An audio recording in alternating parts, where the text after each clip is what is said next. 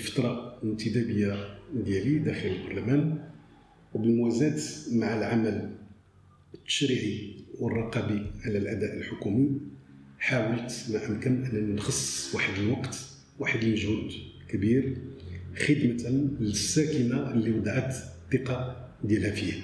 الكل اليوم كيلاحظ وكيعرف بأن إقليم سطات رجع إلى الوراء لعشرات السنين لأسباب الكل كيعرفها. هي مرتبطة بسوء التدبير وبالحكم. ملي كنقولوا إقليم سطات رجع للور يعني هناك العديد من المشاكل اللي مطروحة على الساكنة وعلى الإقليم. التعامل ديالنا مع هذه المشاكل يتطلب منهجيه في التدبير. ووضع الأولويات. ونرتبها كما يلي. اولا كاين الإشكالية ديال الصحة. لا يعقل أن إقليم الساكنة ديالو واصلة لمليون و700 ألف نسمة عندها مستشفى لا يرقى إلى المستشفيات اللي موجودة في الأقاليم ديال المغرب لأقل أهمية من إقليم السبات. وداك الشيء مرتبط بالعدد ديال الأطر الطبية اللي خدامة مرتبط بسوق التجهيزات اللي هي موجودة ومرتبط كذلك حتى بالتدبير. رغم المجهودات اللي كتقوم بها الأطر الطبية داخل المستشفى فالأداء كيبقى ضعيف جدا مع المتطلبات ديال الساكنة ديال الإقليم. خديت الملف ديال الصحة لا على مستوى مستشفى الحسن الثاني ولا على مستوى مستشفى القرب ببن حمد. ولا على مستوى المراكز الصحية اللي موجودة في الجماعات القروية كلها اللي اليوم شبه مغلقة وما خدمش.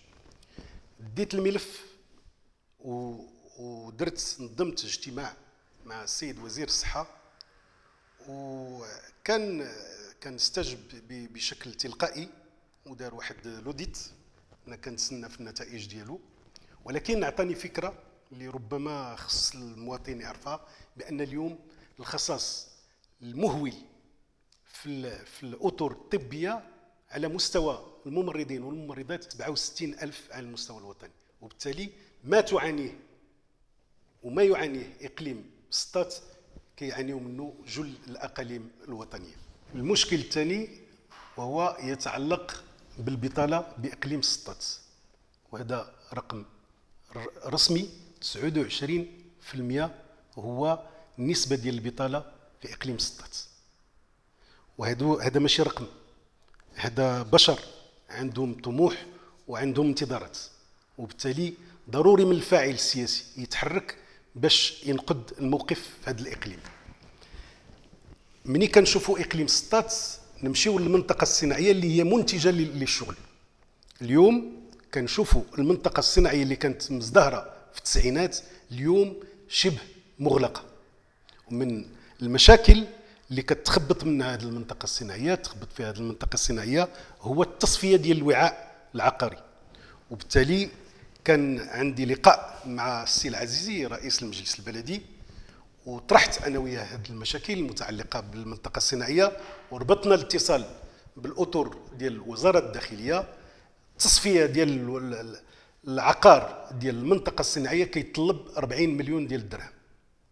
وبفضل المجهودات يعني ديالنا جميع أننا قدرنا نحصلوا على 35 مليون درهم من المديرية العامة للجماعات المحلية و5 مليون درهم على على على العاتق ديال المجلس المجلس البلدي باش نحلوا المشكل ديال العقار والتصفية ديال العقار ديال المنطقة الصناعية في إقليم سطات من ضمن الملفات اللي اشتغلت عليها كذلك طيلة هذه الفترة الانتدابية والتنمية ديال مدينة بن حمد.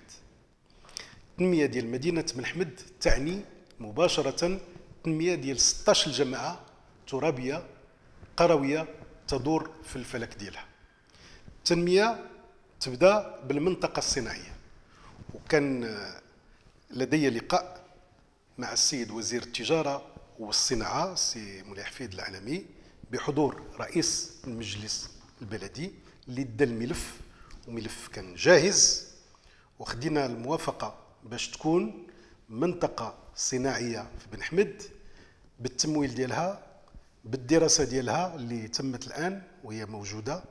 وبالتالي ممكن هذه المنطقة الصناعية تعطي متنفس للشباب ديال الساكنة ديال المدينة وديال الجماعات المجاورة.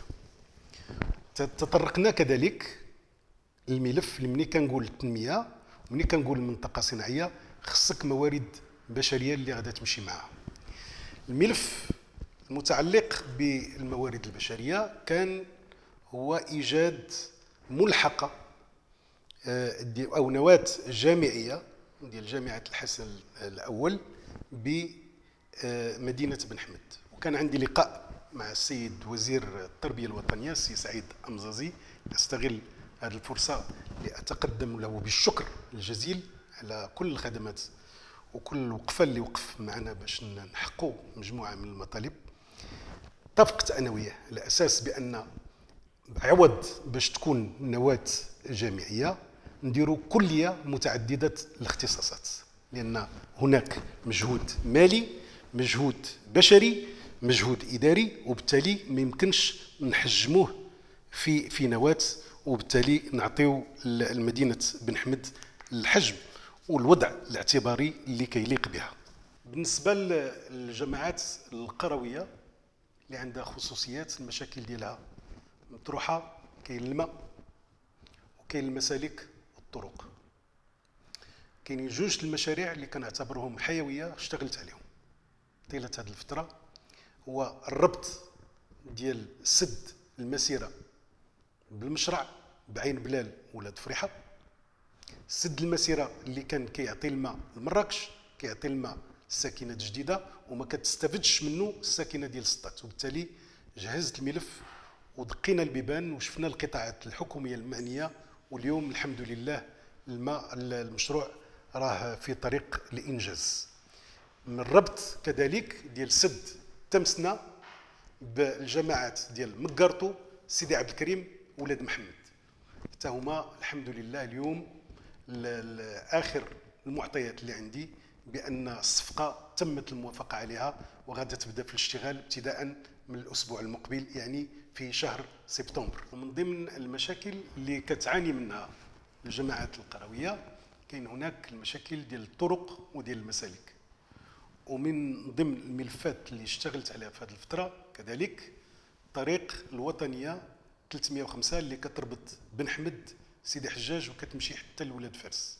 اليوم الحمد لله الطريق راه في طور الإنجاز وما كرهتش ديروا زيارة باش تشوفوا هذيك الطريق وتشوفوا فين وصلت. إن شاء الله وتشوفوا الصدى ديالها لدى الساكنة. اليوم الحمد لله الطريق راه في آه، مستوى متقدم من الإنجاز. والوقع ديال الإنجاز ديال هذا الطريق على الساكنة سيكون ايجابيا إن شاء الله. من ضمن الملفات اللي اشتغلت عليها كذلك مع السيد رئيس المجلس البلدي لمدينة سطات هي فك العزلة على أحياء مفتاح الخير السلام آه، والسمعلة. وذلك ببناء قنطرتين اللي كيدوزوا فوق السكة الحديدية بحيث تمت الموافقة على تمويل هذا المشروع اللي الميزانية ديالو وصلت 57 مليون ديال الدرهم من طرف المكتب الوطني للسكك الحديدية ومن طرف المديرية العامة للجماعات المحلية. وذلك عبر لقاءات مكثفة باش سوقنا هذا المشروع.